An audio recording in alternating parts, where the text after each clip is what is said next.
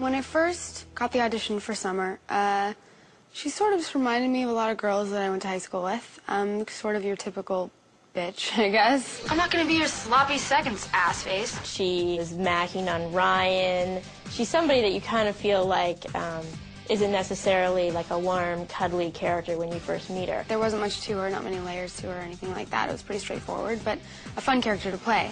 Are you even making fun of me? Because I can't tell. No, it's actually interesting because a friend of mine was auditioning for Marissa, and I remember reading the audition with her. It was before I had gotten the audition, and um, we were reading it, and she was like, "I really want to audition for the friend Summer. She seems like the fun, you know, a fun part to play." And I was like, oh, "I really like this Marissa character. I really feel like, you know, I could do her." And um, ironically enough, I got the summer audition and got cast. she may have been the first person to audition for Summer. She was certainly like very, very early on, and she came in and she was a little bit different. You know, she wasn't like a blonde California girl per se, although she is a California girl. Um, but she was also really funny. Chino? Ew, ew, ew. And she had good attitude, and all of a sudden you saw like uh, you could really write to this person. There was some, you know, there was a place to go. What are you, what are you doing here? Um, I'm trying to have Thanksgiving.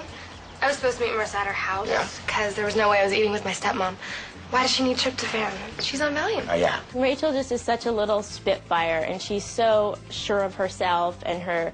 But she's she's kind of grounded in a way that Marissa was always kind of conceived of as more of, of an ethereal character, and Summer felt more like a character that was just like a little engine, you know, going down the road. And uh, when you saw Rachel playing Summer, you just immediately got how those two things went together. Well, my therapist said the best thing I can do to move on in my life is to divest myself of all Seth's material possessions.